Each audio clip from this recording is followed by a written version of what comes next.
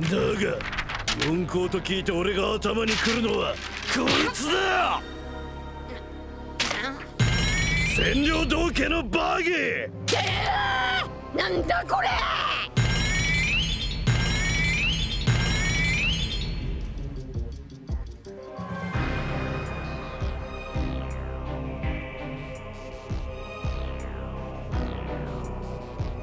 クロコダイルと鷹の目じゃん!あなんでバギーの部下みたいに？いやありえねえな。鷹の目に限っては。あこの二人を本当に従えてりゃ確かに皇帝と呼ばれてしかるべき。あいつアホだぞ。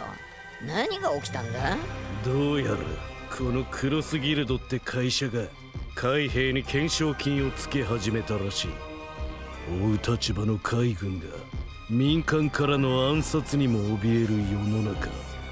俺たちが鎖国国家に引きこもってる間に世界は随分様変わりしてるようだ。